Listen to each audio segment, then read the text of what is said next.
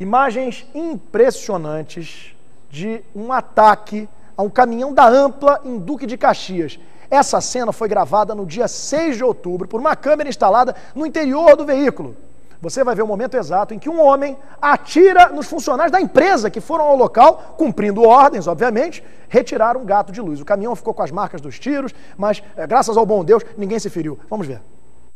Nós estamos acompanhando neste momento os agentes da delegacia de Campos Elíseos, aqui em Duque de Caxias, que tentam identificar o homem que efetuou pelo menos cinco disparos contra dois funcionários da Ampla, concessionária de energia elétrica aqui de Duque de Caxias. Olha só, é um local de difícil acesso, pista de chão, com muitos buracos. Os funcionários da empresa estavam no bairro Jardim Primavera para retirar várias ligações clandestinas de energia dentro de um prédio invadido. Logo depois que o trabalho foi feito, aparece este homem do lado de fora, com um boné cinza, short e blusa azul. Ele está acompanhado de uma mulher e uma criança de aparentemente 10 anos de idade. De acordo com os funcionários, ele pede para religar um gato de luz. Ao ter o pedido negado, o homem então sai caminhando apenas com o menino, vira de costas e atira cinco vezes contra eles. A criança sai correndo. Assustados, os funcionários conseguem fugir a pé. Nenhum deles foi atingido. O homem saiu exatamente deste ponto, acompanhado da mulher e de uma criança de aparentemente 10 anos de idade, e foi deste ponto onde ele efetuou os disparos. O caminhão estava parado um pouco mais à frente do nosso carro de reportagem.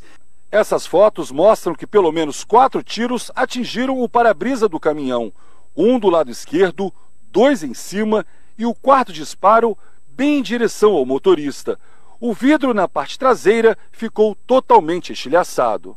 Nós estamos exatamente no local onde os funcionários da Ampla vieram fazer o serviço para desligar as ligações clandestinas.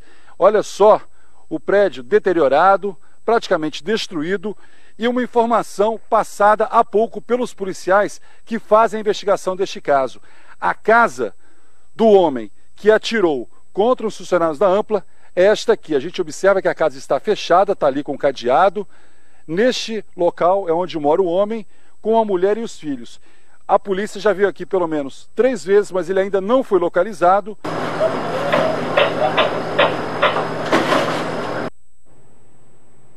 E vamos direto falar com o repórter Eduardo Oliveira, que tem ao vivo mais detalhes dessa história e as novidades do caso. Bota, por favor, Eduardo aqui no telão. Deixa eu falar com o Eduardo Oliveira. Eduardo, por favor, quais são as novidades que você tem aí a respeito desse caso aí? Já conseguiram pegar alguém, Eduardo, que atirou lá no, no caminhão da Ampla? Boa tarde. Boa tarde, meu querido amigo e companheiro Daniel Penafirme. Não.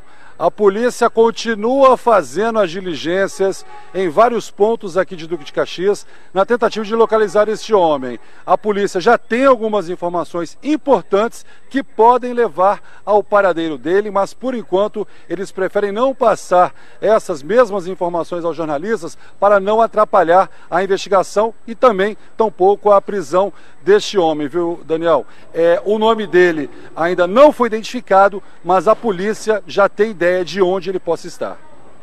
Tá ok, muito obrigado, Eduardo Oliveira, que pode voltar a qualquer momento com outras informações desse caso. E olha, a Ampla afirmou que está prestando toda a assistência necessária aos profissionais que passaram por esse susto, claro, óbvio, e os colaboradores são de uma empresa parceira da Ampla, na verdade não são funcionários da Ampla em si. A Ampla acrescenta que preza rigorosamente por toda, é, pela segurança de todos os funcionários e que vai é, continuar acompanhando aí esses é, operários, esses funcionários no restabelecimento deles. Agora, eu quero chamar a sua atenção para o seguinte, olha aqui, eu vou bem pertinho dessa câmera câmera. Eu não, é, é negócio de posição aqui no estúdio, né? Como eu apresento pouco o jornal, eu não sei direito até onde eu posso ir. Você me avisa. Eu vou, eu vou para frente da câmera aqui. Vou falar, eu quero que olhe aqui, aqui, no meu aqui, ah, aqui. Muito bem. Negócio é o seguinte: depois, pessoal de comunidade liga para cá e reclama que aqui não vem ninguém, aqui a gente está abandonado, aqui não vem é, companhia de energia elétrica, não vem SEDAI, não vem nada. Não vai mesmo. Mas não vai, não vai, não vai. Não vai porque o cara que trabalha ali é, na companhia de energia elétrica, o cara que trabalha na SEDAI, o cara que trabalha na SEG, o cara tem família também. O cara tem filho, tem mulher, está trabalhando dignamente. Não pode tomar um teco. Olha aí, olha a imagem aí. Vamos botar a imagem lá, por favor. Olha aí. Olha lá, o vagabundo não tá atirando na polícia, não, porque a gente costuma ver vídeo, né, de, de, vagabundo atirando em policial e tal, briga de quadrilha, de facção, um atira no outro, outro atira no um. Ali o cara tá atirando num trabalhador, num cara que tava lá cumprindo ordem, funcionário da companhia de energia elétrica. Sabe quem sofre com isso? Sabe quem sofre com isso? É a comunidade. Depois todo mundo reclama. Ah, porque não vem ninguém aqui, porque aqui a gente está abandonado. Não vai mesmo, é claro, é óbvio. Vai de que jeito? E eu vou falar isso aqui sim. Não, não, não vem com essa de é, pega leve, pega leve, é, negócio de, de pega leve com a comunidade. Pega leve, porcaria nenhuma. Ah, que absurdo. Já se viu um negócio desse? Portanto, você que está numa comunidade carente hoje e que não recebe os serviços básicos aí de iluminação, de água, de, de, de né, energia elétrica, saiba que eles não vão aí por causa desse tipo de coisa. Bota lá, por favor, a imagem. Bota lá. Bota lá, por favor, a imagem do sujeito atirando lá. Tem que botar esse vagabundo aí, a cara desse vagabundo aí, até a polícia catar esse cara. Então, o que você tem que fazer é o seguinte: você que é honesto, você que é ordeiro, você que é uma pessoa trabalhadora, olha lá, olha lá o vagabundo lá, tá vendo? Tá vendo? Você que vive nessa comunidade onde vive esse marginal aí, denuncia, denuncia para a polícia, ajuda a polícia a botar a mão nesses caras que queimam o filme da comunidade e que fazem com que toda a comunidade sofra com a falta de auxílio por parte das companhias prestadoras de serviço por causa desse tipo de vagabundo aí. Ajude a polícia, segurança pública é um dever de todos. E